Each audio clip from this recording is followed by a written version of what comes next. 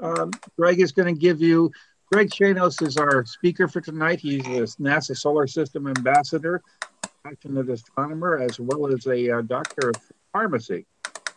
He is member of four different astronomy clubs and some professional organizations like ALPO. And uh, he comes to us from the skyscrapers of Rhode Island all via Florida tonight. Um, okay, so journey to a comet. Today I'm going to talk about fundamentals of comets, and also I'm going to talk about um, the uh, NASA and ESA space, spacecraft that actually went and visited the comets. Actually, six comets total were visited by spacecraft. Okay, so um, historical perspective. Um, the ancients looked at the heavens as perfect and orderly, and uh, they saw the heavens as absolute perfection. And something like a comet disrupted that perfection. And uh, Aristotle in fourth century BC believed that comets were some sort of um, was some sort of uh, terrestrial uh, meteor uh, a meteorological weather phenomenon. And of course, that's dead wrong.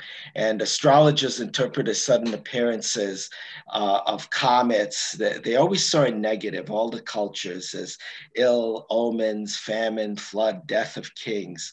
So Halley, Halley's Comet was followed down through the ages and made a foreboding experience in the Middle Ages. And um, every passage of the comet since 240 has been recorded. And then here we have the Bayeux, uh, Bayeux Tapestry, Battle of Hastings, 1066. You'll see the comet? It actually shows Halley's Comet there. And then if you look, if you want to go, oh, wow, look at that, you know, see, so it actually shows Halley's Comet and then um, and then uh, Edmund Halley. And then uh, remember the um, the ancients believed in um, the Earth-centered universe, and the sun went around the uh, the Earth. And then Copernicus put the center, put the sun in the center, and the uh, Earth and the planets went around the sun. But he kept the perfect circle idea, okay, that went in perfect circles because this idea of perfection, a circle is symmetric all the way around. And then Kepler made the great discovery that planets are not um, perfect circles, but they're in. Uh, that's my hand. Oh yeah, they're in ugly ellipses or an egg shape um, and then in 1705, um, Edmund Halley found that these comets had almost the same orbits and returned every 76 years. And he made the correct conclusion that they were indeed the same comet. And he predicted the return in 1758, which indeed took place. However, he didn't live long enough to see it. he died in 1742, but if you subtract these two years, he lived 86 years old. Think of it in the 1700s to reach 86. A lot of people didn't make adolescence back then.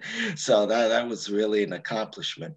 And uh, although the comet is named after him, he did not actually discover it. Comets are named after their discoverers, up to three, up to three uh, discoverers and all. So if you're the fourth person, your your name's not going to go on it. So um, but this is the only comet that that was not discovered by an individual but named after him because he did make a, a great discovery that all these uh, that the, the comets uh, every 76 years was indeed the same comet and uh, let's see. So, Fred Whipple, the father of cometary studies. So, the original idea in the 1800s was the flying sandbank model, which proposed that a comet was a cloud of meteoritic particles held together by its own gravity, and gases were absorbed onto the surfaces of dust grains and escaped when the comet came close to the sun and the particles were heated. Dead wrong. In 1950, uh, Fred Whipple, Dr. Fred Whipple, uh, came up with the uh, icy conglomerate theory, that a dirty snowball theory, that a comet has an actual nucleus inside. He suggested that it's an icy core inside a thin insulating layers of dirt and jets of material ejected as a result of solar heating with a cause of orbital changes. And then um, so this was all based on indirect evidence that he had. And then we'll mention the Giotto spacecraft actually flew by Comet Halley and photographed the nucleus in March of, 80, of 1986. So uh, Dr. Whipple was vindicated. And uh, uh, Skyscrapers was honored to have Fred Whipple right here um, lecture to us um, on October 4, 1986. And uh, he was age 80 then. He died 97 years old. Wow, that's a great lifespan. And I was 27 at the time and still have my hair, although it's turning white. but I'm 61 now, so double my age. But um, let's see. So anatomy of a comet. So these are the main things, the nucleus, the coma, dust tail and plasma tail. This you don't see really a hydrogen on, envelope. It's an invisible layer of hydrogen surrounding the coma. I didn't even know this existed before I started researching this. So the nucleus is the main solid part of the comet, like we mentioned, is composed of rock, dust, and frozen gases. Now you never see it, it's buried deep within the coma, which is a halo of evaporated gas, water vapor, ammonia, carbon dioxide, cyanide, and dust that surrounds the nucleus. And uh, and then um, the dust tail is composed, like it says, basically of dust that are pushed away by the pressure of sunlight. And then the plasma or ion tail, it has three names, gas tail, ion tail, or plasma tail. They all synonymous, they mean the same thing. It's composed of electrically charged gas particles, ions, of carbon dioxide, nitrogen, water, and cyanide that spiral around magnetic fields in the solar wind. So I'll talk about each of these individually in a little more detail. so the nucleus is a solid central part, like I mentioned, rock dust and frozen gases. So when heated by the sun, the gases sublime and produce an atmosphere surrounding the nucleus known as the coma. Now, sublimation is the process of, um, you've all probably experienced, have you, have you ever seen dry ice? Dry ice is frozen carbon dioxide. And uh, if you leave it out on a countertop, you'll never have water. It just goes from a solid to a gas, and it's actually heavier than water, denser. So it doesn't, you see the smoke the vapors rising up as it's subliming, but they go down. They go over the edge of the table and down. Okay, and they use that in rock concerts and they just blow it around and probably add a little light or or dye to it to give it colors. But that's what sublimation is, okay? Turning from a solid to a gas. And most cometary nuclei are thought to be no more than 10 miles across. The density is 0.3 to 0.6 grams per cubic centimeter. Now, density, as you know, is mass over volume. And um, water has a density of one gram per cubic centimeter. So anything less than one will float on water. So if we could put a cometary nucleus in a tub of wa fresh water, it would actually float. And uh, the nucleus of comets are fragile, a conclusion supported by comets splitting apart. A lot of comets really do uh, split apart, and we'll talk more about that in a bit. And comets are suspected of splitting by thermal stress, internal pressure, or impact. Uh, cometary nuclei among the darkest objects in the solar system. And um, the albedo of a comet. Albedo is just a fancy term for reflectivity. So, uh, how much light an object reflects back is known as the albedo. So, um, a mirror, a telescopic mirror, would reflect 100% of the light hitting it. Tar, freshly uh, freshly paved asphalt, would reflect 7%. See, so you, those are like the two extremes. So uh, cometary nuclei are closer to uh, asphalt, actually even lower, three to six percent. So even blacker than the darkest tar you can imagine. Okay, so they're very, very dark.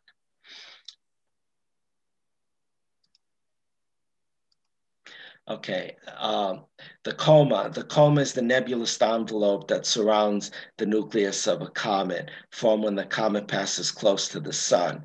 So as, a, as the comet warms, parts of it sublime, giving a fuzzy appearance. I mentioned what sublimation is.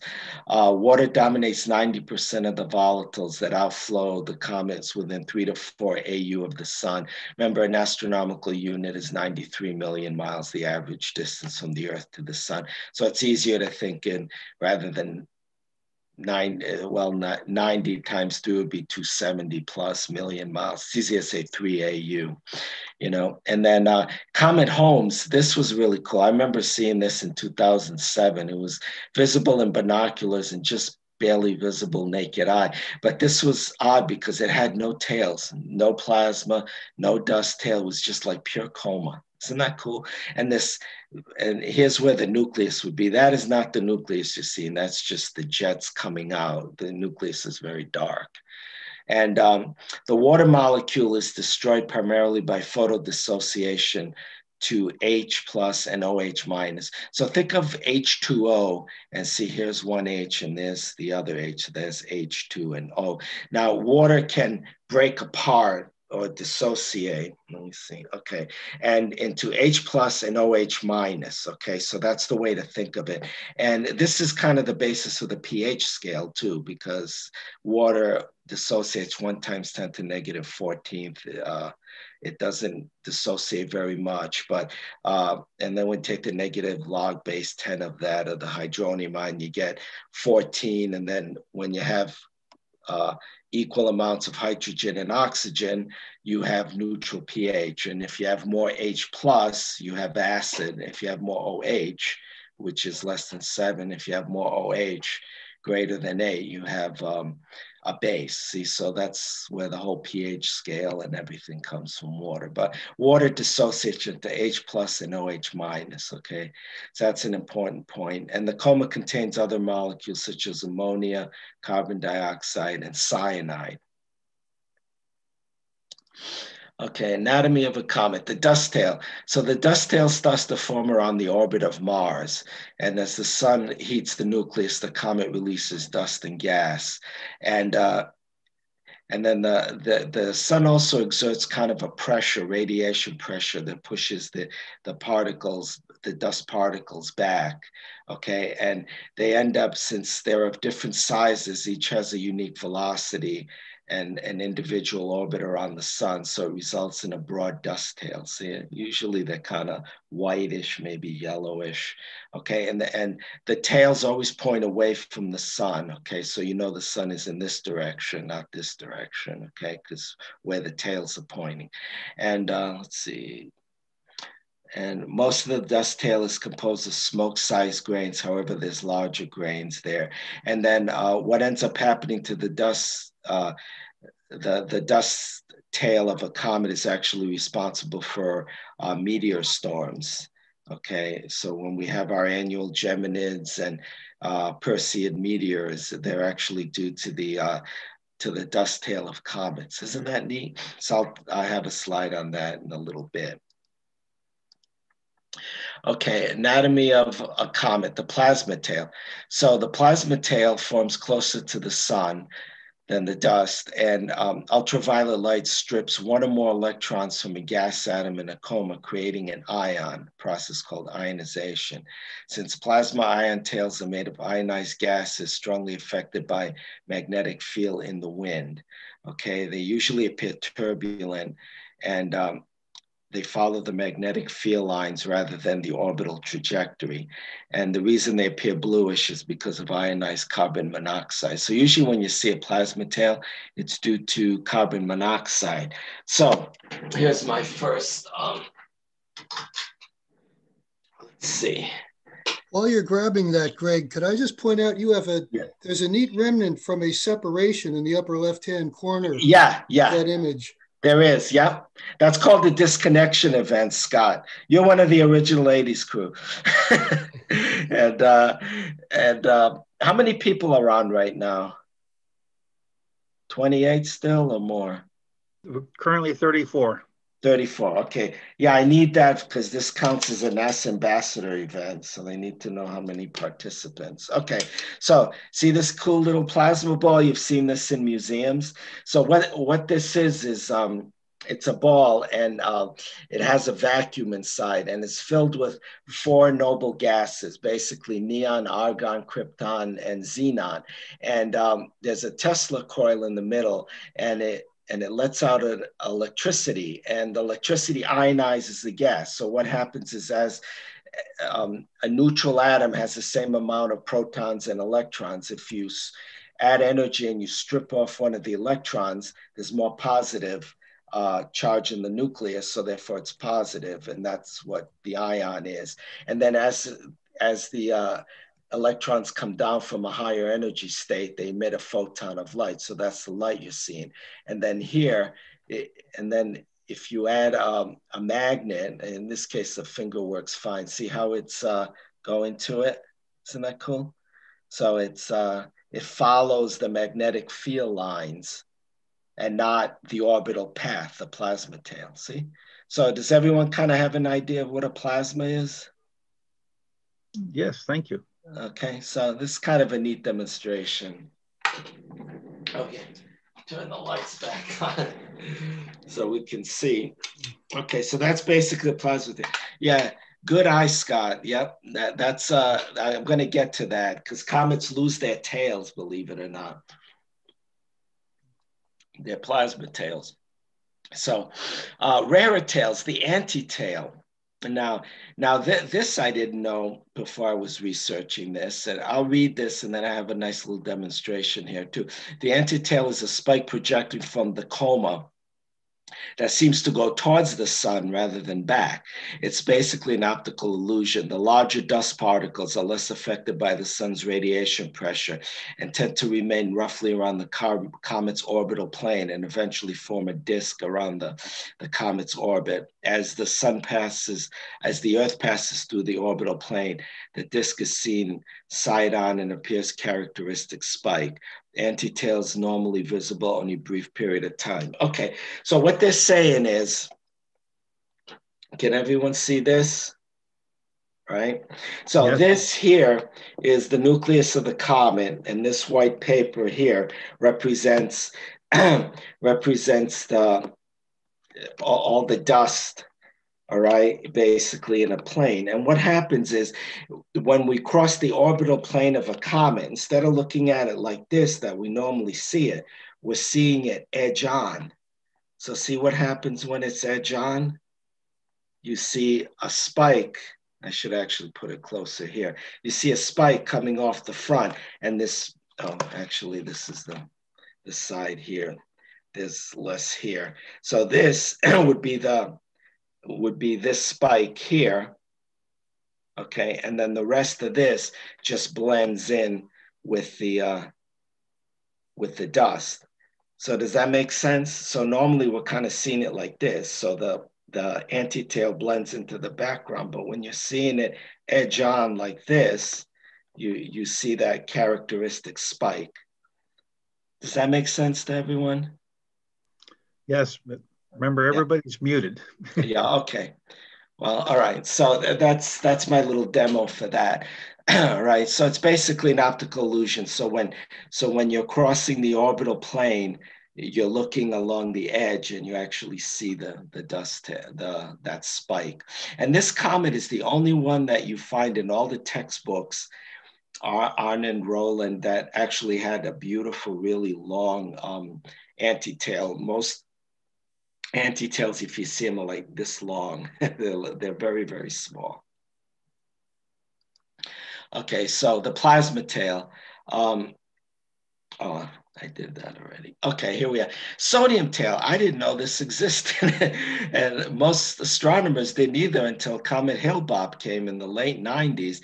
And a neutral sodium tail consists of electronically neutral sodium, sodium atoms. Now, we can't see this as amateur astronomers, but they also detected in um, this comet Giacobini-Zinner through a spacecraft. So here, here, this is what we can see. There's the nucleus, the coma, there's the ion or dust, or plasma tail, here's the dust tail, and then this is the sodium tail. Isn't that neat? I didn't know that ever existed. and neither did everyone else before 1997. So that's kind of neat. Okay, uh, now this is a little bit um, interplanetary magnetic fields and sector boundary crossings. Okay, so uh, the solar wind flows away from the sun. The interplanetary magnetic field is carried with it and has a spiral shape. And along the ecliptic plane, has two to four sectors that rotates every 27 days. The surface separating the polarities is called heliospheric current. And um, a, a, sector boundary crossing is the polarity reverses. Okay, so what does all this mean? If you look at this diagram, picture's worth a thousand words. Here's the sun, here's the earth, here's the earth going around the sun in its orbit, okay? And then as the sun rotates, it has this um, interplanetary magnetic field. So this is the magnetic field of the sun as it rotates, has a spiral shape. So here it's showing two, there could be as many as four, okay? Well,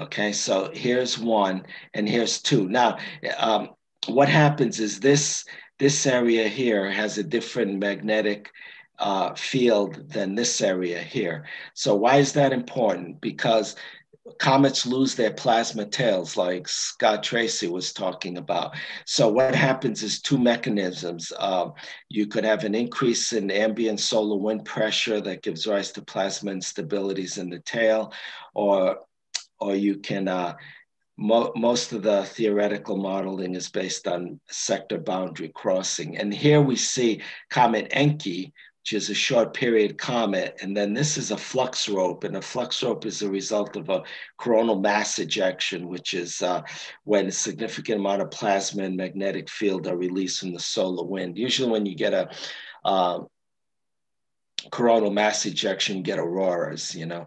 But uh, here, so notice what happens as the comet, here's the tail, as it crosses this, mag, this uh, sector boundary, notice it loses its tail because the, the magnetic field is different. So I have a little demonstration of this.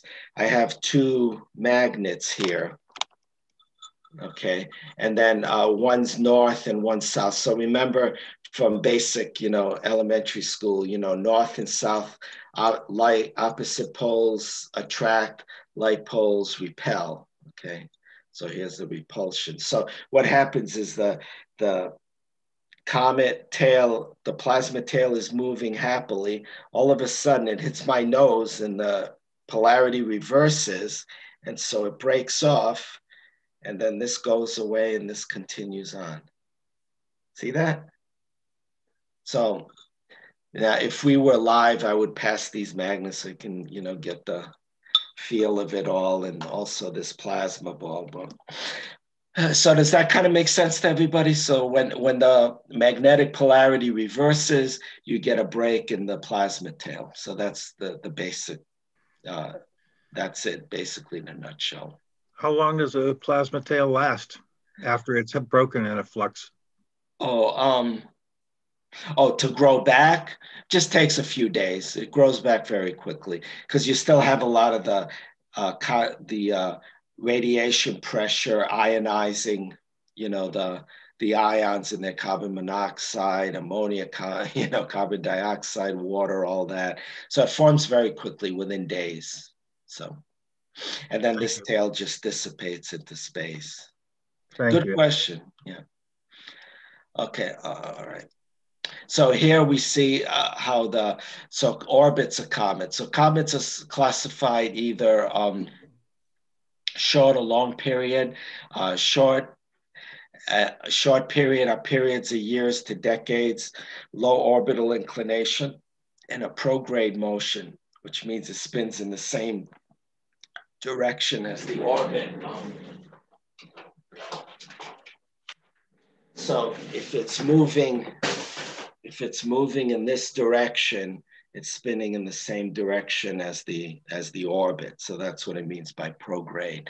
And then um, Jupiter family comets are just a special subtype of short uh, period comets that are less than 20 years and their motions are influenced by Jupiter. Long period comets take thousands of years. Um, 18,400 years is a period of Hyakutake. so we're not going to be around to see that. And uh, they can have any inclination, high or low, and they spin opposite the direction of the orbit. And um, as the comet heads, so this shows here. Um, so when it's out here, nucleus warms, starts turning to gas. Coma forms when the comet is about five times further. Um, as it gets closer to the sun, the, the tail forms, all right? You get the tails, the, the plasma, and the dust tails, the, the pressure. The dust tail is pushed by sunlight, ion. See, so notice both tails are always pointing away from the sun. And then as it moves away, the coma and tail disappear as the comet gets further out and then it becomes frozen again. And it just repeats the cycle as it comes back in. So that's basically, so just remember short period, long period comets, that, that's the, um, and then um, origin of comets, the Kuiper belt, uh, it's a disc-shaped region around the orbit of Neptune and contains countless of icy objects, a source of short periods and Jupiter family comets such as Halley's Comet. Um, this is the reason, the Kuiper Belt is the reason why um, Pluto was demoted as a planet. And uh, Clyde Tombaugh, the discoverer of Pluto, actually came in 1987 to skyscrapers along with Dave Levy and and uh, I actually met him and have a picture of myself with him. But um, he was very adamant about them demoting Pluto. So the American Astronomical Union waited till he passed away until they demoted Pluto, which was nice of them. But you know, thinking, knowing what we know now, it was it was the right thing to do because there are it's just the closest kuiper belt object is they found a lot more um, objects and they name and they have weird names sedna Quaoar uh, Makemake and stuff like that. And they're actually larger than pluto a lot of them. So there's a lot of icy bodies planetary bodies dwarf planets that are even larger than pluto in the kuiper belt. So pluto is really the closest kuiper belt object okay? That's why it's been demoted to a dwarf planet so the basic idea here is the short period comets such as Halley and Jupiter family all come from the Kuiper belt. The uh, the long period comets come from um, the Oort cloud, which was named after Hans Oort. And this is way out there, 100,000 astronomical units from the sun. So trillions of small icy bodies. So this is where the newer long period comets come from.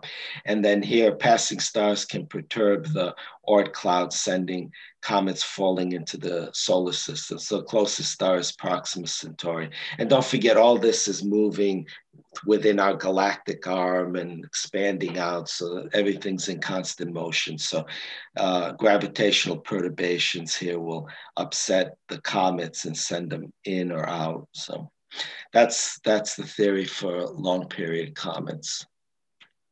And then cometary tails cause meteor showers. So most of the dust in the tail of a comet are composed of smoke, however, larger grains can be sheared off. And um, and th- these grains form a meteor stream which continues to orbit the sun in the same path as the comet. And when the Earth intersects it, we see a meteor shower. So the so Halley's comet, here's the orbit, and then here's the Earth going around the sun. So it intersects it, and we have the Eta Aquariids and the Orionids. So both of these are due to Halley's Comet, depending on the season here. And then the Perseids are due to um, the orbit of uh, Comet Swift-Tuttle. And, and there's an interesting fact too, I didn't even notice it. Dave Levy made me aware of it. Uh, Sarasota, Florida has um, a main road called Swift and Tuttle. And, and, they're like this. I got to take a, I took a picture of it. I got to find it. Swift Tuttle. so that's really interesting. And what are the odds of that? And uh, it, the only two meteor showers uh, that are really worth observing are the Perseids in the summer, because each has at least 100 meteors per hour, and the Geminids 120. And in our light polluted skies, I observe these every year religiously, given the, um, you know, if it's not cloudy and uh, I submit it to the International Meteor Association, I take uh, counts and um, and also to Alpo. And uh, the most I usually see is 20 to 30 in my moderately light polluted skies. So um, let's see. And then this one, 3220 Phaethon. This is really weird. The origin of the Gemini. I looked it up. This is, they call it like a rock comet. This is actually within the asteroid belt, but it emits dust and gas, which is really weird. So this is kind of a weird object, but that's the that's the Geminids, okay, and the Perseids is Swift Tuttle. So just, just everyone here has observed meteors, so I don't have to belabor the point. Okay, Shoemaker Levy 9. How many people have seen this? Yeah, a lot, most everybody, right? Well, Shoemaker Levy 9, th- I wish this occurred during the digital age. Because think of it, 1994, we were at Windows 3.1. we weren't even at Windows 95 yet, right? So think of how primitive computers were then, right? And and now I, I like to image planets as well as deep sky. So, you know, with your little ZWO planet and even a webcam, we would have gotten such beautiful, you know, images of this. But either way, um, what happened is that the nucleus of this comet split into uh, 20, 20 discrete fragments and they were up to 1.2 miles and they impacted at six at 129,600 miles per hour. A bullet fired from a gun travels at 1,800 miles per hour. So this is going at 129,600 times. Imagine that. Okay. Much faster than a bullet. And then you had these beautiful scars, and, and you could actually see these through an eight inch telescope. And what I did is, um, uh, Dave Lee, I have sketches here, and Dave Levy signed uh, this on May 20, March 27, 2006. Oh, Sky, you have a cat, so do I. And, uh, and then here, I did my little drawings here. They're not. They're nothing great, but uh, I could actually see this stuff. I'll tell you, I can see it. I could see these much better than I could see the red spot. So I, I, just wish this had happened during the digital age because amateurs would have had such incredible images of this. And this is the Hubble Space Telescope, and and we would get images equal to this with today's uh, with today's planetary cameras. But you know, timing is everything, I guess. okay, questions regarding uh, comets in general, the anatomy, where they're from, everything this is a good place to stop for any questions. Remember to take yourself off mute if you want to ask a question, or you can throw it in the chat. Either way. How many people? 30. Still, still 34. You're holding okay. their attention. All right, 34. That's a good amount. Okay, any questions before we move on? So, yeah. I, could you clarify? Um, I, I, think that this is right, but I, I, just want confirmation. Okay. In the tail of the comet, um, plasma, uh, the, what we're actually seeing is emissions from the plasma itself, right? Yes, yes, you're seeing the light from the plasma. Because what happens is, um, so you can see here. Um, what happens is the, the you have an ion that dissociates, and the electron jumps to a higher energy level, and then once it jumps back down to the ground status it's called, it emits a photon of light. So mm. that's what you're seeing. So you're, you're having billions and billions of these, you know, ions going up and then coming back down and relaxing and then emitting light. So yeah, what you're seeing is, and even this, can you see? You know, even this, it's the the light you're seeing is the the light from the ions. Yeah. Okay. So and and the dust tail, right? contrast is reflecting light from the sun. Yes, the dust tail. Oh, that's a good point. Okay. I didn't think of mentioning that. Yeah, the dust tail reflects the light from the sun, and it follows the the curved path. Um, if you look, if you look back at the uh, the the dust tail, see how in Hale-Bopp it's curved. Because it's it's following the orbital curved path of the uh, comet, whereas the the plasma tail is not affected by the orbit as much. It's affected by the magnetic field, so it's actually like spiraling around the magnetic fields that are that are present due to the radiation pressure from the sun. Okay. Greg, are you going yeah. to be talking about comet visibility prospects for 2021? Uh, no. Okay, because are there any? That's one. Yeah, there's at least one that. One okay. our members. All right, save about. that. Save that till the end. That'll be a good one. That's Thank a you. question from uh, Michael Corvesa. And oh, okay. No, no, I, no, I'm not. Well, we had uh, we had uh, uh, NeoWise, you know, the, in yeah. 2020, which was great during the lockdown. I'll mention that, but yeah, it won't be until December, at least. Oh, okay. Yeah.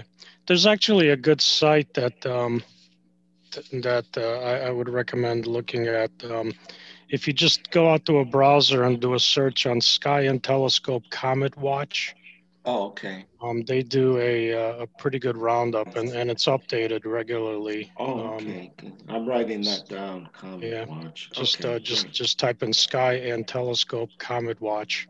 Okay. And they'll give you a rundown. Oh, you know, great. What comets are expected throughout the whole the entire oh, year. Great, great. You know, with the magnitudes and you know what uh, whether you expect to see them uh, yeah. uh, naked eye or, or what equipment you should unfortunately, use. Unfortunately, most comets just don't get like a Hale-Bopp and Hyakutake right. right, really naked eye. And that's unfortunate because I think a lot more people would become interested in astronomy and hooked on astronomy like me. That's what got me sure. into it was Halley's Comet. I saw Halley's Comet. I heard it was coming in 85. I contacted Dave Huestis of Skyscrapers. I went there. I, it was still, it wasn't until March. And then I kept following it throughout the, the season. And then, I, and then I just continued on observing everything yeah. else in the universe after the oh, comet yeah. left. Yeah. So I think it would get a lot more pique people's interest, you know, but unfortunately it doesn't happen as often as right. as it there, there are a lot of comets out there but they're faint. They might be 10th magnitude 12th i mean they're, they're nothing you know right. you know. Hmm. okay so continuing on um, so now i want to talk about the missions to comets. This is basically the big uh, the big focus of this presentation is that's why I called it Journey to a Comet, because now we're actually going to journey to, to comets via spacecraft. And there were actually six, I list five here. Um, Giotto was the first one, and this was launched in, uh, in 85 by what's called ESA, European Space Agency. And uh, it, it actually approached Comet Halley in 1986, came within 273 miles of the comet and uh, it found and and think about it now we have actually direct evidence of what a nucleus looks like i mean fred uh, fred um, Fred Whipple only surmised it based on indirect data. Here we have direct data. It's always great to have a direct image of something. And so here it is. Isn't that beautiful? March 13, 1986, pivotal moment for we actually flew by Halley's Comet, okay? And it found the nucleus to be a dark carbon rich body measuring 9.3 miles, 4.3, and 6.2 with a thick dust covering, albedo of 3%. So it only reflected 3% of the light hitting it. Now, these are the active jets. That's why they appear bright, but this dark part is what they're referring to.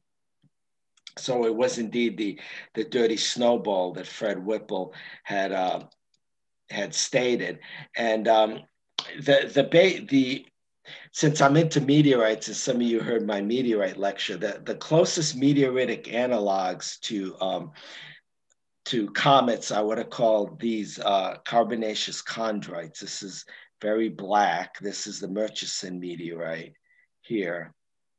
All right, and then this one is, uh, this one is even closer. This is Ivuna, this is a C1. This is one of the most primitive meteorites. I keep it in a membrane box, it's very fragile. But uh, that's, that's the closest meteoritic analogs to a comet. So the nucleus showed, and, and what's cool is the nucleus shows structure. Show, they, they even named some of these in other meteorites, but you could see here that it had hills and valleys, and you could see three areas where gas was coming out. Here's one, two, and then a weaker area there, three. And then um, the, quanti- the quantity of um, so 10% of the surface was active with at least three outgassing jets. The quantity material ejected was found to be three tons per second. Can you imagine that? Three tons per second. Uh, and then measured volume of material ejected 80%. So 80% of this three tons per second was water, 10% carbon monoxide, and then 2.5% mixture of methane, ammonia, cyanide, and other hydrocarbons. They also detected iron and sodium. And what was interesting, see the fact that there was cyanide present, they detected it spectroscopically in 1910, and people were selling gas masks ripping off the public, saying that, you know, we're going to pass through the tail of Halley's Comet, we're going to be gassed to death with cyanide. so, well, we do that every uh, twice a year with the uh, meteor showers. So, but uh, there's too little, it's all dispersed infinitely. So, there's no worry about that. Okay, so here's a better uh, composite image isn't that beautiful? I think that is the most beautiful thing. Look at that. And see here, here's the three, the albedo that I was talking about, the 3%, the very jet black, very, very dark, just like these carbonaceous chondrites. So the ratio of abundance of light elements, excluding nitrogen, such as hydrogen, carbon, oxygen, same as the sun. This implies that Halley is one of the most primitive uh, objects in the solar system and formed 4.5 billion years ago and remained practically unaltered since its formation. Because think about it, the comet for 76 years is way out in the Kuiper belt. It's frozen solid. It only comes in for just a few months, you know, maybe nine months or so eh, around the sun. And then for another 76 years, it's frozen. So it really preserves, uh, it really preserves uh, it's not really altered that much by its passage through the sun is what i'm trying to say see so that's why scientists are really interested in comets because they're one of the most primitive things in the solar system and halley's comet had twice the amount of heavy water D2O compared to normal water as the Earth does. I have a slide on this later on. Um, one of the big theories is that um, Earth's oceans, you know, the Earth is three quarters oceans, came from comets because notice Halley, Halley's comet is ejecting three tons of material. 80% of three tons is water. So, you know, during the early bombardment period, we were bombarded with meteorites and comets that, you know, that's where our water came from. Now, uh, this theory is kind of come into question, and I'll mention why. And deuterium is a uh, isotope of hydrogen. Hydrogen is uh, one proton and one electron, and and an isotope is the same element with different number of neutrons. So if you add one neutron uh, uh, to hydrogen, it's called deuterium. It has a name. And uh, if you add two neutrons to hydrogen, you get tritium. And tritium is the radioactive one that they make hydrogen bombs from, okay? But uh, deuterium is very stable, and you have deuterium deuterated water in your bodies. And the uh, ocean has a lot of deuterium, and we'll talk more about that later. And then the Giotto spacecraft also visited this other comet, but it was badly damaged, so no pictures were taken. Okay, so one of the big things scientists wanted to know is what are the organic molecules in uh, in a comet, and what is in a, what does organic carbon mean? Okay, organic means carbon that is bonded to think of CHON, CHON, CHON, carbon bonded to hydrogen, oxygen, nitrogen, and hydrogen. CH, hydrogen, oxygen, nitrogen, okay? So you see here, now normal, now normal carbon, uh, non-organic would be carbon bonded to itself, such as graphite or diamond or a new form called fullerene, which was only discovered in the mid 80s, and um, which is C60, C70 buckyballs.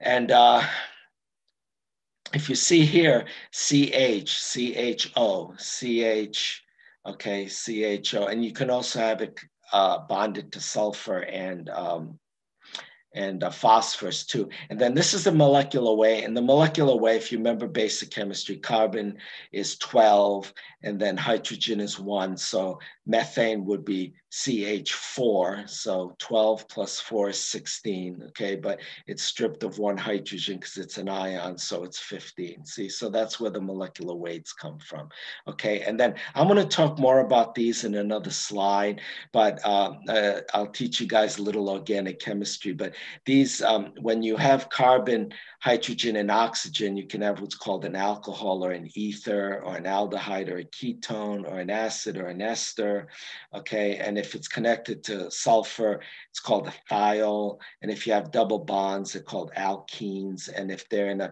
six-membered ring, uh, benzene ring called aromatic. So I'm going to talk more about all this later, but um, just kind of keep this in mind. So just remember for now, carbon, organic carbon is carbon bonded to CHON, hydrogen, oxygen, and nitrogen, okay? And um, formaldehyde is um, the uh, was discovered in uh, Halley's Comet. Formaldehyde is embalming fluid, as you know. And uh, it's funny too when you go to the supermarket and they say organic food, right? Think of it, all food is organic. It consists of carbon bonded to hydrogen, oxygen, and nitrogen. so it's kind of a, a misnomer. But what they're trying to say, it's higher grade food. But you know, technically, all food is organic. It must be fun okay. in the supermarket. Huh? You must be fun in a supermarket. Yeah. well, then by that reasoning, all pesticides are organic too. Yeah, yeah, that's true too. That's true too, because they have carbon in them. Yeah. Before you leave the uh, Giotto mission to Halley, I have another question. In yeah, sure. The, now we're going to talk about any questions regarding um, Halley's Comet and the Giotto mission. See, that's why I, I have it all yeah, this is why you planted me in the audience. Yeah. the, the question comes from Jeff Benoit. He wants to know yeah. if they did any measurements of the period, the rotational period of Halley's nucleus. Um, they did. Did I write it down here? No, I did not. Okay. The rotational period, Halley. Okay. See, now I'm, now I'm, making this better. I actually, you, you guys are the very first to hear this presentation. I wrote this back in 2019, and uh, I was going to present it in 2020, and then COVID hit. so now I'm presenting it in 2021, and I've updated it since then. And um, and uh, so you guys are the very first to hear. But thank you. Yeah, that's something to write because I have rotational period of other comets in, in other ones. Thank you very much. That, that's uh, oversight on my part. Yeah, it's been measured. I, I just don't know what it is offhand. Yeah, hi, this is Jeff. I would just add to that. I was curious because looking at the jets, I was yeah thinking that if it if it was locked to the orbital period, then one side would stay hotter, whereas if it rotated rotated quickly would be more uniform heating. It might affect the, the jets. Yeah. See, it says here axis of rotation is this way. So it's rotating like this, I guess. Yeah. But I, yeah, that that's a that's a good thing to write down. I'm gonna look that up in the next. I'm giving this to the Stars Club on the 23rd, so I'll have that in there. so, any other questions? Um, yeah, Greg, this is Bill again. Yeah. Um, uh, the the outgassing, uh, three tons um, of outgassing. That's really remarkable. Yeah. Oh, yeah. It is. And there's another comet that um, I forget which one right now that only outgasses one ton, and that's considered a dormant comet. Huh. So this is three tons. Yeah. yeah. Um, did they? It is remarkable. That's why. That's why scientists think the Earth's oceans came from comets. Mm-hmm. You know, and, and I'll see that that theory's been kind of um, put into question. Okay. Any other questions? Well, yeah, I was going to kind of go go farther along with that. Extend yeah. that.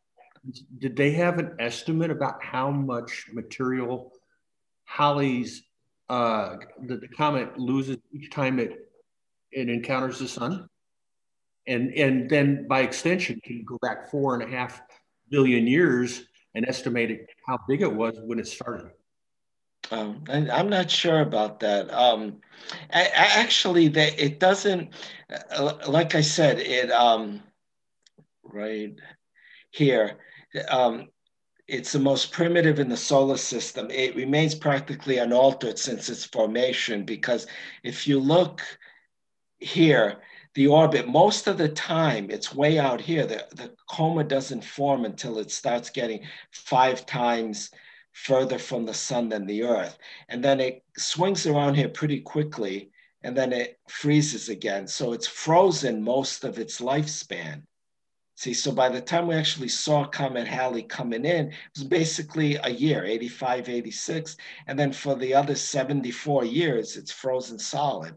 See, so it doesn't really lose as much as you may think. you know what I mean? Yeah, but um, but you know, four and a half billion years divided by uh, 87 is still a big number. Yeah. So I, I just I, am going to probably follow that one up because that's um, these objects as artifacts from the construction of the solar system. Right. Right.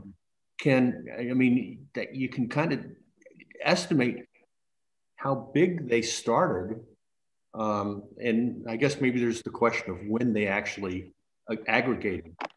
Uh, right. But uh, yeah, that must. I, I, don't know if there's been. Any, I'm not aware of any studies where like trying to figure it. You'd have to model that. There's no way to know it with certainty but you know but knowing how it's outgas like you said how it's outgassing and and you know during each time it comes around and one way to know is next time it comes around um, we'll send another spacecraft and photograph it and then they'll be able to see in 76 years how it changed because we have a pretty accurate uh, you know, measurement here, 15 kilometers by seven by 10, we'll see if that shrunk any significant amount. You know what I mean? See, then we'll know that, oh, wow. And then from that, we can, you know, deduce longer periods of time, how big it might have been, right? You know what I'm saying? We probably need at least two of these measurements to be able to do that, but we'll have to wait till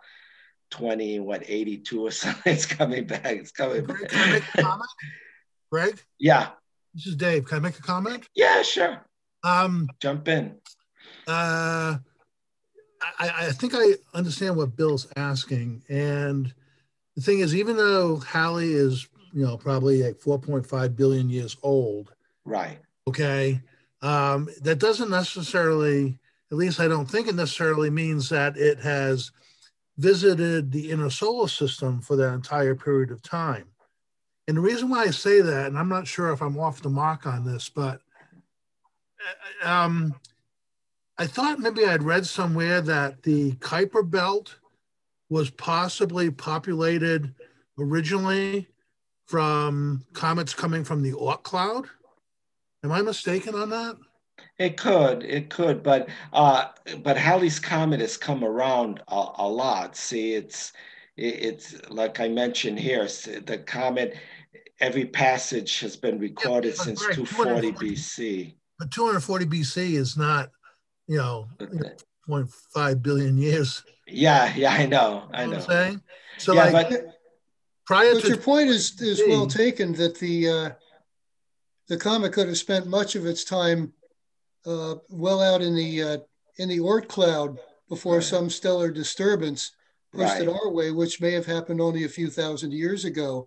Yeah. Um, as I think Dave or um, Greg alluded, that periodic comets are thought to have been uh, perturbed out of the uh, right. Did have that correct? Yeah, and and they and they can scientists can usually tell by the um, where's the slide that shows that uh, by here they can usually tell by the uh, short where is it short and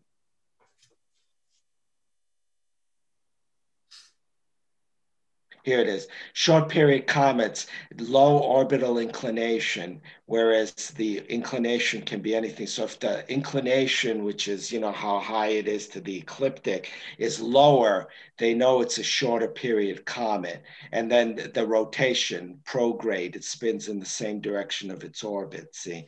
So that they can tell by that usually that it's a short period or a long period comet, see? So.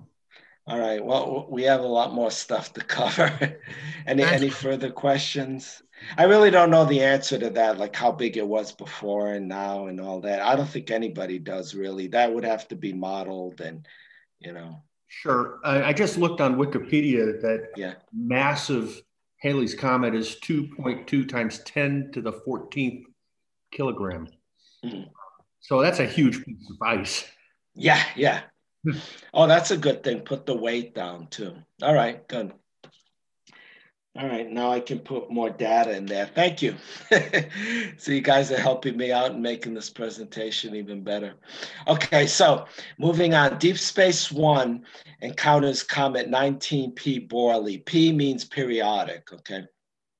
So this was launched in 98, and um, it actually went to this asteroid here, Braille, okay, and it didn't take that great an image. And um, there were problems with tracking, and uh, this is just the thing. And the spectral uh, type of this asteroid is dominated by olivine and pyroxene. And uh, olivine is, is uh, if ladies may know, olivine is uh, peridot. It's a semi-precious gem. And here's a meteorite that has um, it's not a pallasite, but can you see the uh, the the crystals behind it? Can you see the kind of translucent? See it? I think that looks pretty good. See, they're kind of translucent, the crystals. Those, those are the olivine crystals. And uh, then uh, pyroxene is this. This is uh, this is from um, called Millbillillie eucrite. This is from the asteroid Vesta. They've been confirmed to be from Vesta. So let's look at, um, it, so a lot of these other uh, spaceship uh, missions also intercepted asteroids on the way there. So I just put one slide, some details on the asteroid. So the nucleus, so here's uh, comet uh, 19P Borrelly. And uh, it's extremely dark, albedo of 3% and density of 0.3 gram per cubic centimeter. It's bowling pin shaped. And uh, the nucleus, it has a variety of textures too, which I'll talk about in a bit. And the nucleus exhibit no trace of water, ice, or any water-bearing minerals. And the comet's surface is, is inactive ice is present but too little. And it's and the nucleus is actually quite hot 300 to 245 remember how you get kelvin? Um, you add 273 to the celsius temperature. So uh, 20 degrees celsius is 68 fahrenheit. So 20 plus 273 is 293 so that would be room temperature in kelvin and uh, dust and gas appear escaping only from localized jets, less than 10% the surface, as seen from spacecraft. So it's a weak producer of gas and dust and releasing less than a ton of water per second, as opposed to three tons for Halley.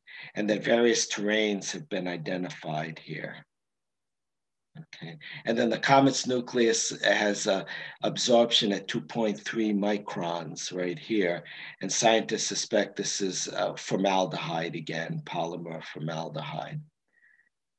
And uh, and he, here's the uh, mesa is a flat top hill, so these are kind of hilly areas on it here. So scientists like to look at structure on on the comet and uh, kind of uh, correlate it. So. So any questions on on uh, on Comet Borrelly? It's basically pretty much a, a dead and dying comet. But, but notice how the shape looks totally different than Halley. Each comet, each nucleus has a different shape. They're not, you know, a certain shape fits all. kind of thing. Okay, so moving on, deep impact mission to 9P Comet uh, Tempel 1. Now, th this is a great mission because this one actually launched an impactor projectile into the comet.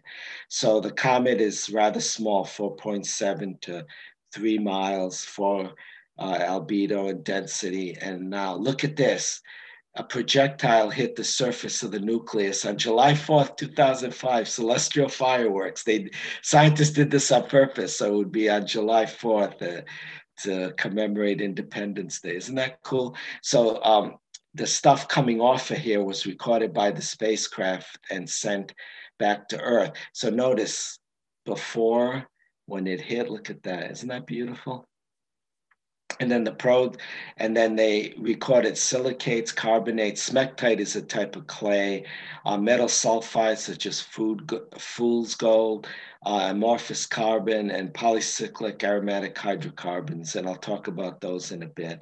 And they also had water, cyanide, methyl alcohol, and ethane. And methyl alcohol is not the drinking alcohol, it's ethyl alcohol, which is CH3CH2OH. Methyl alcohol is poisonous and will, and if you don't die from it, you'll go blind. It has an affinity for the optic nerve and and, and it causes blindness. Um, molecules in methane, moonshine, if you make moonshine, you get a certain amount of methyl alcohol in there. That's why it's dangerous. Um, so molecules such as uh, methane, ethylene, acetylene, and carbon monoxide were present post-impact. And water ice was detected, um, and the ice was one meter below the crust. And then here's the what this uh, spectrometer showed. This is all uh, signatures of water ice, the wavelength in microns versus intensity. This is, they couldn't really get a lot of detail, but complex organic molecules, carbon molecules.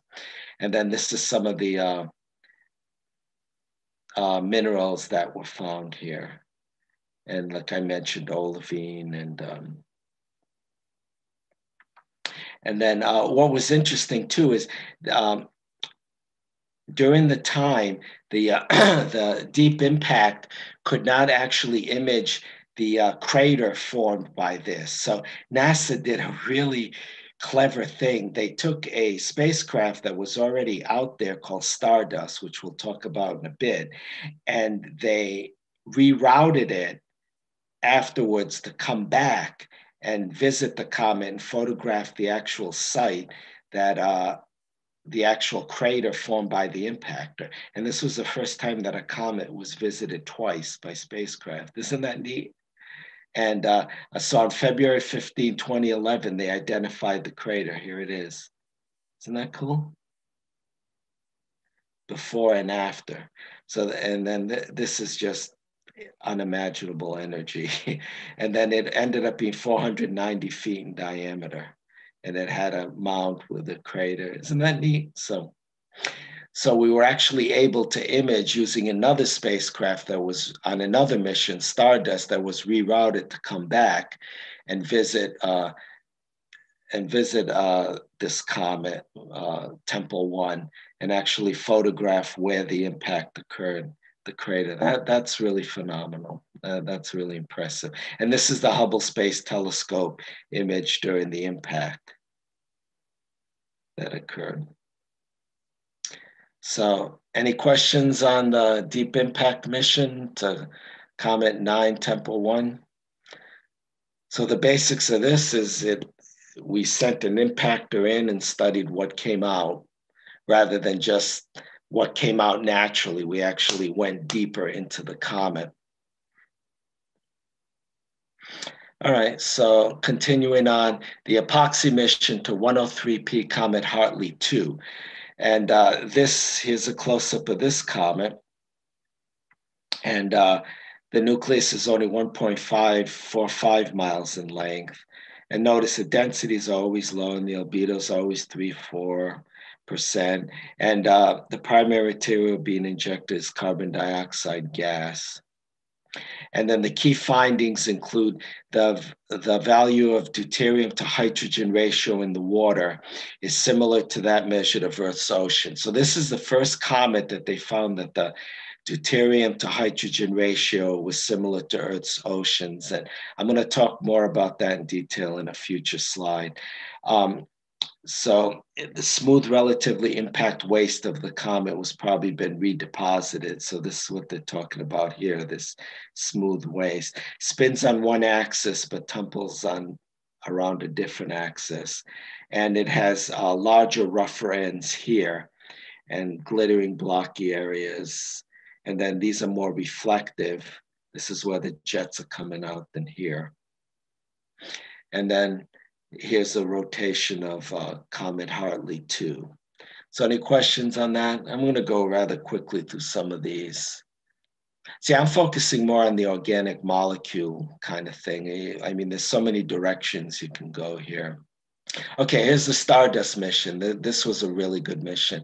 This was uh, this was sent to, to actually collect dust and bring it back collect dust from a comet and bring it back to Earth, which it did successfully.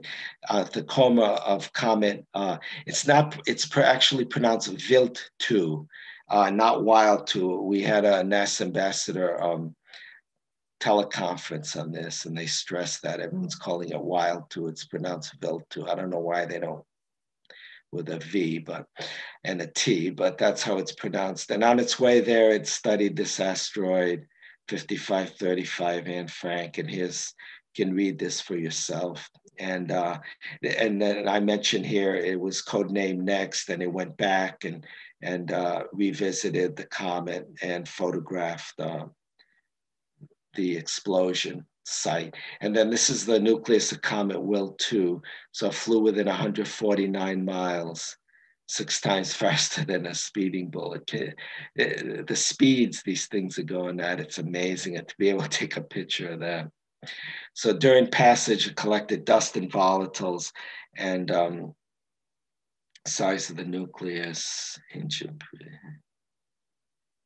Okay, and then uh, they use this stuff called aerogel. And being with the NASA Ambassador Program, uh, Jet Propulsion Laboratory sent all the ambassadors actually an actual sample of aerogel. Here it is. It's this light thing. It's called like liquid smoke. This is the actual stuff that they use to collect the uh, the the uh, cometary dust particles. See, and you can see them there. And they actually had a uh, a um, what do you call it? Stardust at home, which was a uh, virtual thing that you could do. They had a little microscope and you could focus and look at actual samples. I looked at over a thousand different different samples of this, and I had two candidates, and they were both not comet particles artifacts. But I, I participated in that citizen science thing. I think it's off the internet now. They've basically looked at everything. But uh, th this is kind of neat. So the particles were fine grained, loosely bound aggregates, and they included olivine, forsterite, and enstatite. And olivine I showed you in this meteorite here.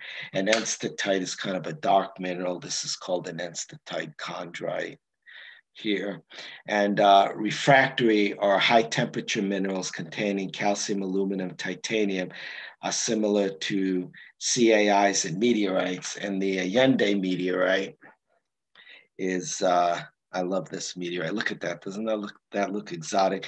This, what you see here, the, these larger things here, that is a calcium aluminum inclusion. See it? That's the largest one on this. Right there. Isn't that beautiful? So, so these are what they call high, refractory or high temperature minerals. So these were the last things to precipitate out of the solar nebula. So they found these also in the uh, comet. Okay, so Comet Wild 2 was rich in organic matter. So these are polyaromatic hydrocarbons. This is how they look. They're composed of carbon bonded to hydrogen six member benzene, which are called aromatic fused rings. Has anyone here taken any formal courses in organic chemistry? Because um, you'd really appreciate this. So these were collected from stardust sample, benzene, naphthalene. Naphthalene is uh, mothballs, by the way. And uh, it's also, but check the label because they also use uh, paradichlorobenzene too. So, but uh, naphthalene is phenanthrene and pyrene. And then, so if you look here, here's how to read these things. See how this, this thing connects like that? There's a carbon here. So everywhere you see these things connecting is carbon, carbon, carbon, carbon, carbon, carbon. Okay. Is we have one attendee with a degree in chemistry. Oh, good. So you'll appreciate. Is that uh, is Michael that uh, Corvase? Oh, okay, great. And uh, here you you see you have four, uh, one, two, three, and then each of this comes four um, bonds around carbon, and then there's a hydrogen coming out of here. Okay, so each one of these has a hydrogen coming out. So that that's how to read these. Okay and you wouldn't have it here because there's too many bonds. And these actually in what's called resonance, they're actually alternating within the molecule. So a lot of times you see it drawn as a circle. So these are PAHs or polyaromatic hydrocarbons. Aromatic just means a benzene ring, poly means many, and they're all fused together. These are tar-like substances, okay? So a lot of the tar on roads are basically polyaromatic hydrocarbons. And if you ever get mothballs, check the label says naphthalene. Has a has a pretty nice odor, naphthalene, but it's kind of very chemically. but um, and then nitrogen containing molecules, methylamine, ethylamine, and this is really significant, amino acid, glycine. Amino acids are the building blocks of proteins found in all living organisms. So this is a very big deal that they actually found uh,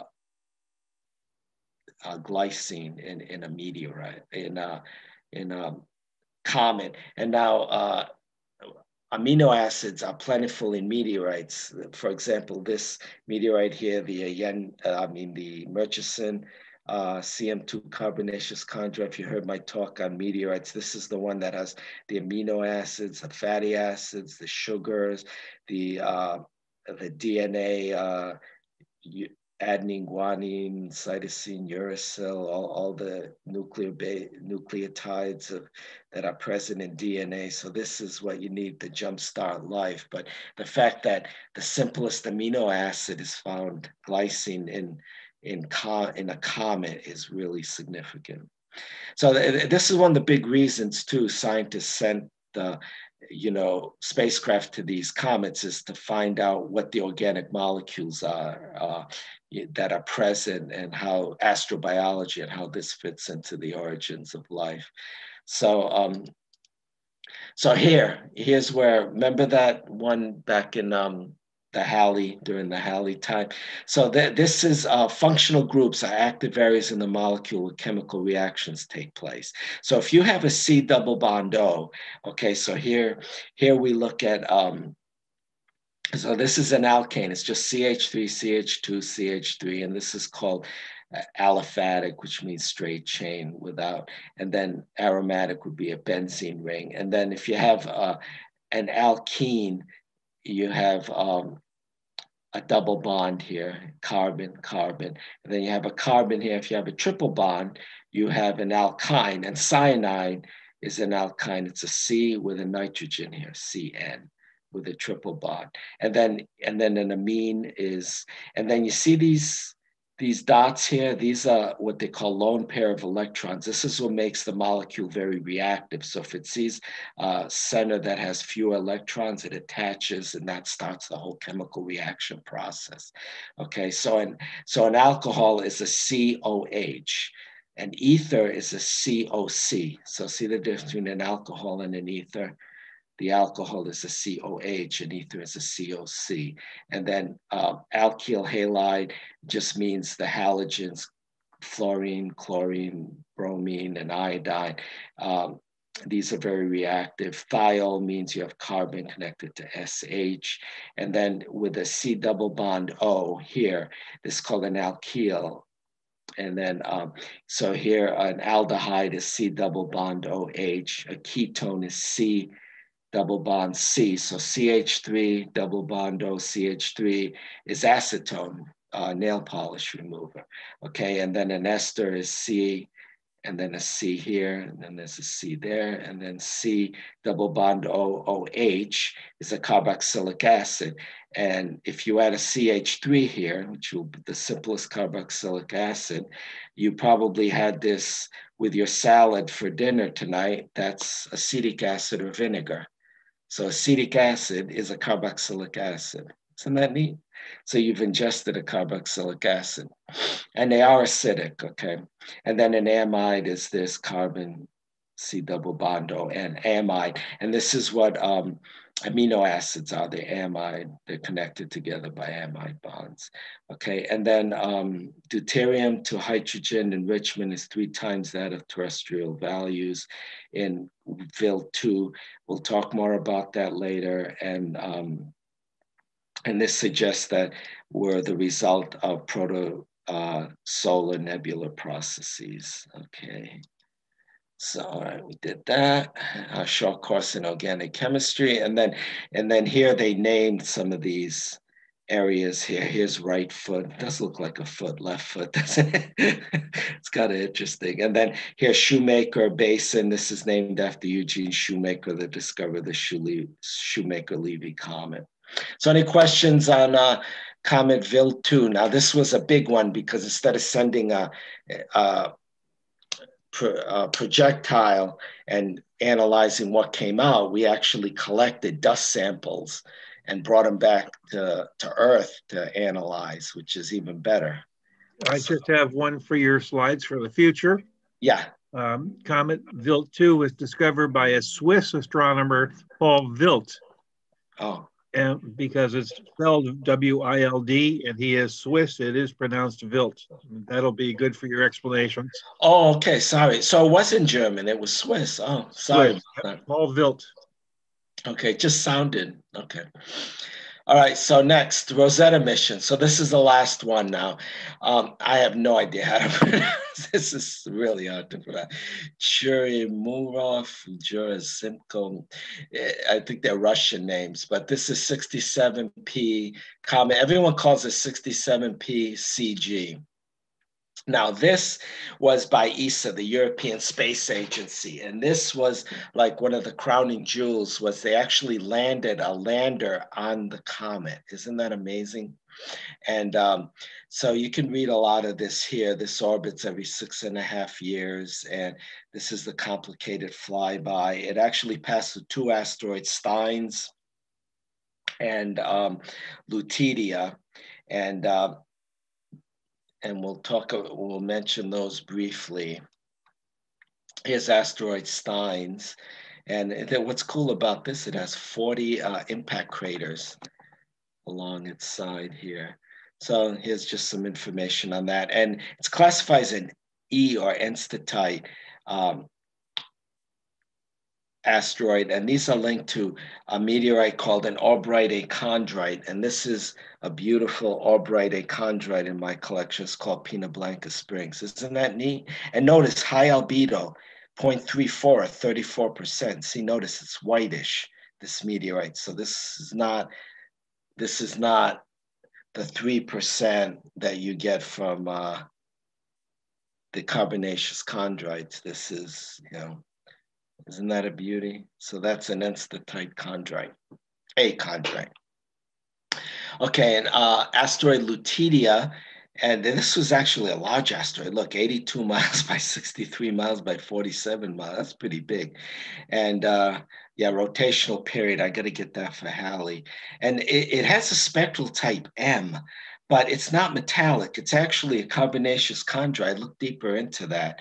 It is classified as M, but it is, but the outside is all carbonaceous. You can tell that's all carbonaceous chondrite. There's actually a, uh, a NASA mission that's coming, going to be launched, I think around 2024. There's an asteroid Psyche, it's called, which is an actual metal asteroid. We've never ever imaged a metal asteroid. So that that's that's going to be something really exciting.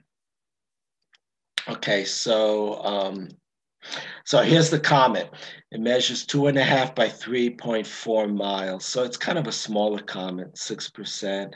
the mass, density, rotational period, gravity. This is interesting. The gravity is so small that it takes to fall one meter, which is three three feet three inches. It takes eight, 80 to 120 seconds. Isn't that amazing? It takes like two minutes to fall three feet. it's really amazing. And then there's no electric field. And what's really neat is the way this thing rotates, it's doubly lobe. The comet, each lobe has a season. I never knew comets could have seasons. Isn't that neat? So each hemisphere here has a season. That is wild. Um, going backwards. Okay, so here's uh, a lot of this information here in a pictorial. And then, uh, so Comet 67P revealed a double lobe structure, head and body separated by a narrow neck. Okay, some like it to the shape of a rubber duck. I, I really don't see a rubber duck in this, but either way. And they used uh, names for the region's ancient Egyptian history and mythology. And if and this, it's believed that this actually formed when two kilometer-sized cometesimals, two comets gently bumped each other and then stuck, accreted, and then started traveling together. Because it does look like, see right here, two comets. This is one part and that's another. See, this is one part and that's another. So, and the neck has active jets. And then here, um, can read some of this for yourself. Uh, two lobes, I mentioned that layers. This implies a lot of accumulation over time. A lot the volatiles here. It is highly porous, um, low strength, low density, high porosity, and no alteration by liquid water. And then um, and then the next one here, they talk about layering here, terrace. Uh, they talk about terraces. That's what a terrace is. It's basically a step-like landform with one edge that's that's steeper than another. And And then here, significant findings. Now, now here's the organic stuff again. So electrons and not ultraviolet photons are responsible for the breakup. So molecular oxygen and nitrogen have been detected. Now oxygen likes to exist as O2, okay? And same thing with nitrogen, unless you ionize it. But uh, in the in Earth's atmosphere, oxygen is O2 and nitrogen is N2. And notice that's the same as the comet. Isn't that neat? And uh, the compound hydrogen bromide has been detected for the first time. And then Rosetta detected noble gases, krypton, xenon, argon. That's what's in, uh, these are the same gases that are in this orb here, my plasma orb. And uh, remember what an isotope is, say, uh, uh, element with same number a different same element with a different number of neutrons okay? And high abundance of argons good correlation with it being forming in the cold outer regions and abundance of noble gases controlled by planetary.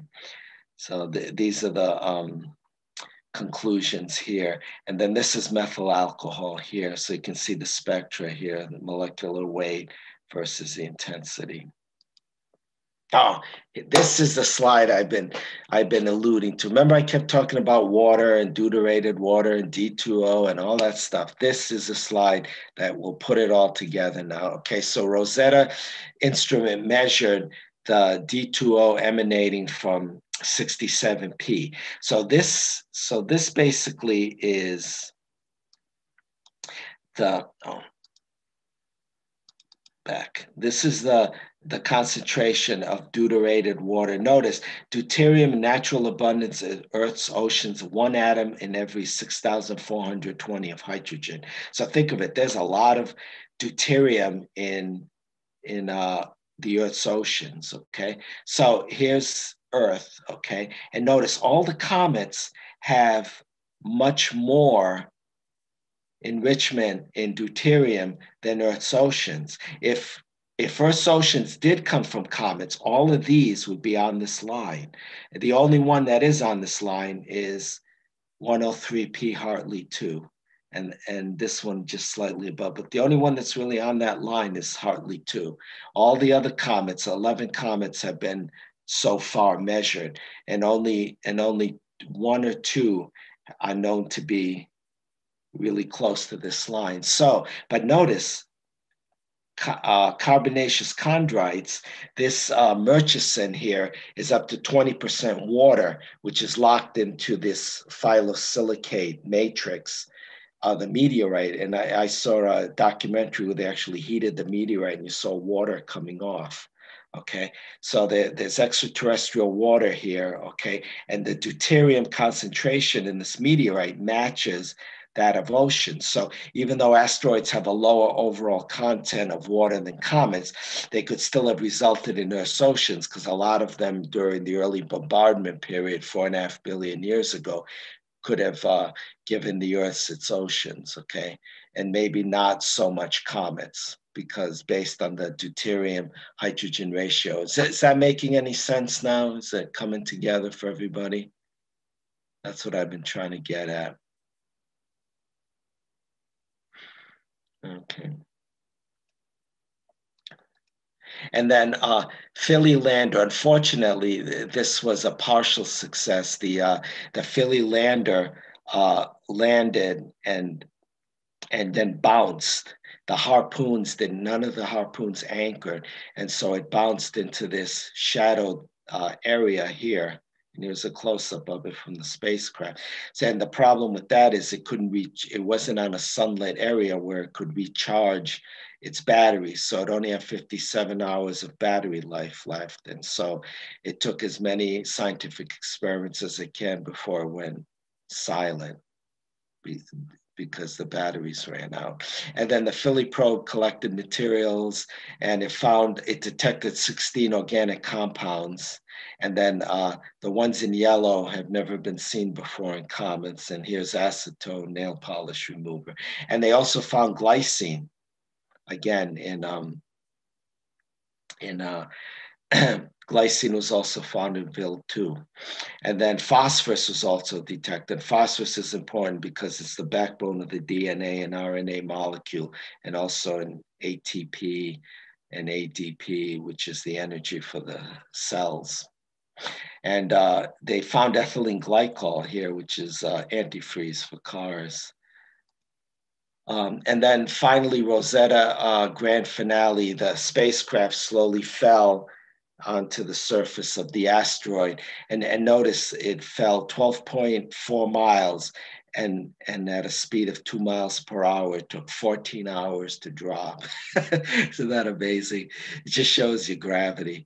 And then um, and then while it went down, it took a lot of data and everything, and um, and then it went silent. So that's the end of the Rosetta mission, and then uh, and then here's a complete rotation of uh, of the of the comet. See, it's two lobes, so the the theory is that it's two cometesimals that came together gently and accreted and just stuck together. Okay, so any questions regarding Rosetta or any part of this presentation? These are pictures uh, that I took myself, um, comets, and here's my first one of Halley's Comet in 86. This was in Beavertail State Park in Rhode Island. And, uh, and then this is the, the most recent one, a Comet Neowise. This is actually stack of about 10 um, pictures with Deep Sky Stacker and and uh, you can see the dust tail and you can see the plasma tail there too coming out. So, so any, any questions, any part of the presentation? I don't have any in the chat right now. Okay.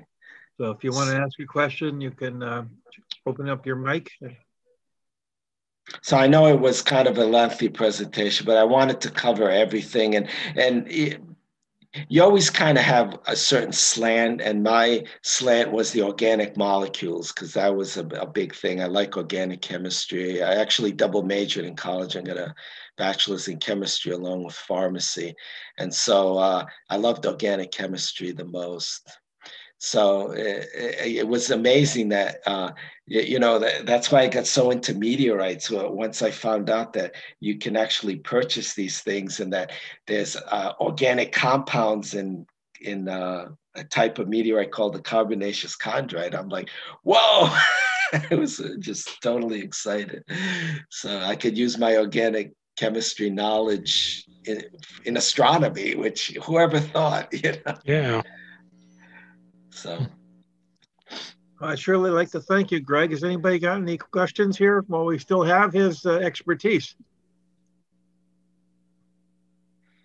No, but thank you. Thank you. This was fascinating. I mean, I came into this, like I, I was uh, texting, I came into this thinking that I knew, you know, quite a bit about comets, but uh, I, I, I, I learned a tremendous amount here.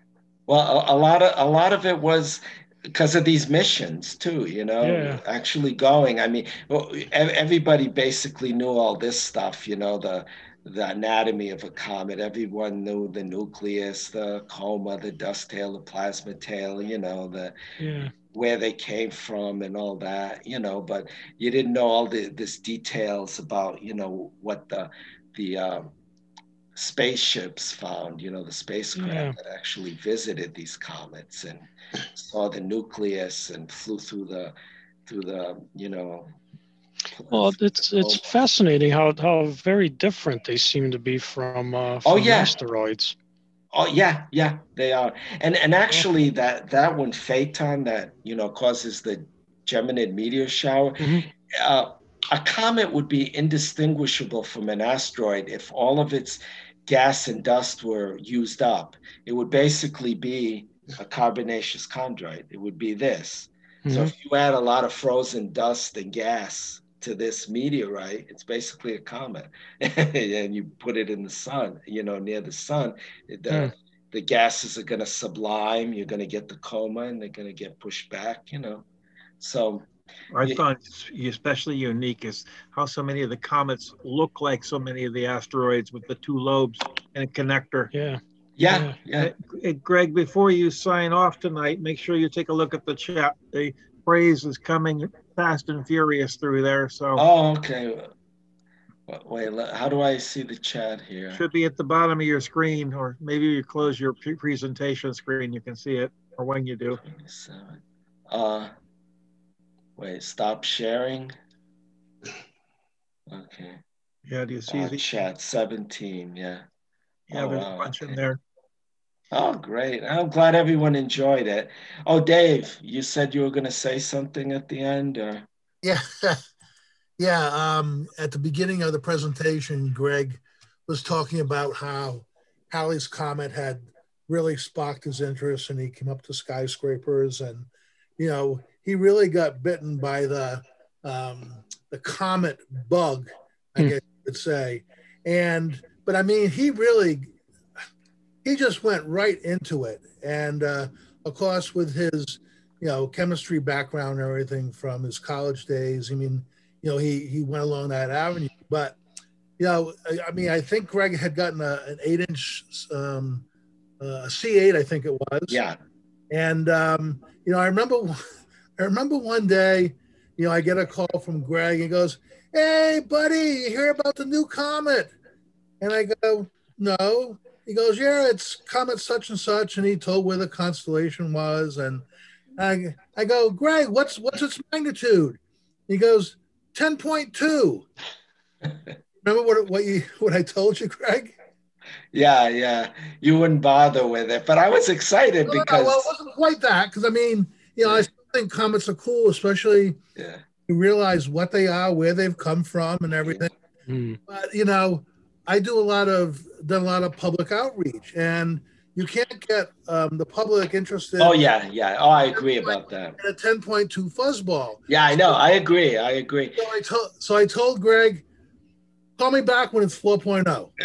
yeah, yeah. And Neowise was was pretty good. I mean, it was a great binocular comet, and you could barely see it naked eye. But it was during the COVID time, the heart of COVID. You know, like just around yeah. the lockdown, so we couldn't have any any uh, public. People were getting great shots with their iPhones. Yeah, You know, I mean, and talk about, you know, you're talking about the technology back when you were starting, and then look how far it's gone in those really short number of years. And the, some of the images that people were getting on their, you know, the cell phone cameras were absolutely incredible. Wow. Greg, you have a question on the chat. Yeah, I see it. Um, I I don't know red sodium tail. That's it because sodium usually fluoresces uh, yellow, and um, I, I'll look into it. I'll look into it. Red sodium tail of comet Neowise. Yeah, and don't forget to turn the host back over to me too. You Oh, go into the, the participants list. how do I do that? See the Security. Question? participants? Remove participant. Or, No, no, don't, don't want to do that. Okay. You'll either find yours and turn off host or find Oh, mine and make host. all right. Um. Where do I see the host? Partic- It's part of your name. Uh, oh, host. Yeah. All right. More. So what do I do? What does it say Host. under more? Uh, rename. All right, then go up to mine and make host. Uh, John. More stuff. Make host. Yep, John. There we- You want to do it. change? Yes. Okay. You That- should that's now be the host. I Okay. am. Thank you. And another question, okay. or is it, or is it a comment? I've got a question. All right. Uh, Oh, Bob Napier. yes. Hey, part of the original ladies crew. All right. How you doing?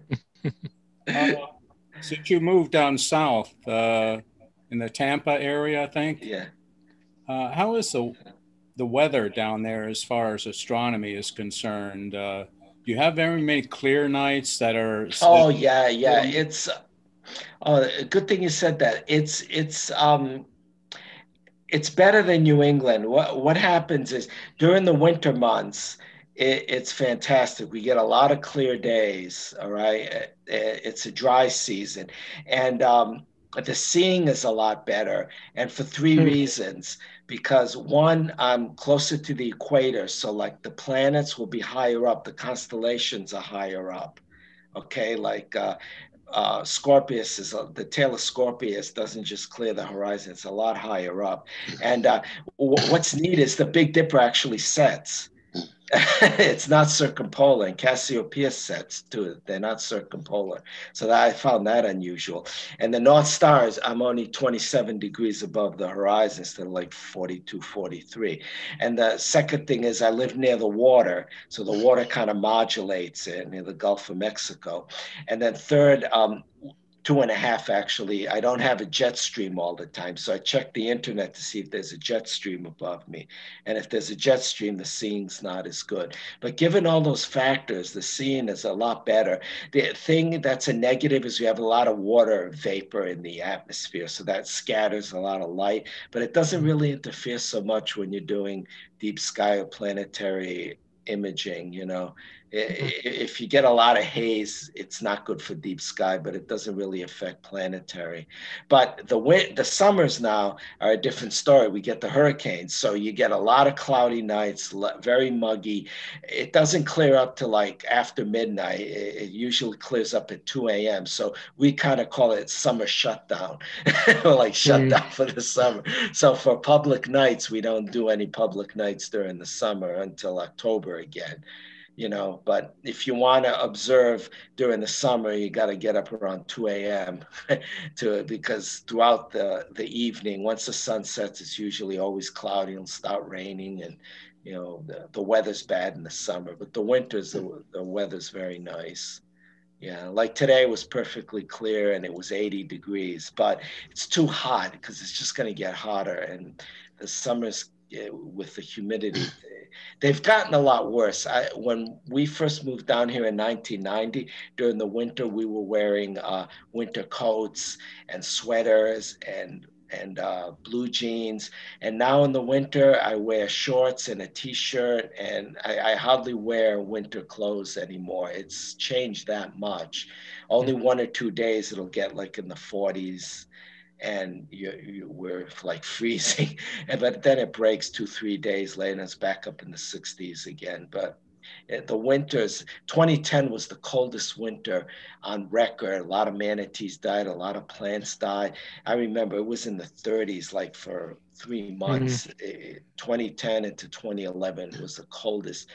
Uh, eh, but after that, it's been yeah. So that's basically the, the weather climate now in Florida. Yeah. Greg, I'm going to ask you for let take one last question before we have to move on to our business meeting. Okay, sure. Uh, amino acids can tolerate extreme heat, yes or no? Um, not extreme. I wouldn't say extreme heat. The amide bonds would would break like an acid, like your mm-hmm. stomach mm-hmm. acids. That's what they do. They break a, a, steak or a hamburger, which is protein, into individual amino acids that are absorbed. But extreme heat, it, it may, but it, it, it's kind of it's kind of cold out on in the. Uh, well, she's referring to how they could possibly have made the oceans.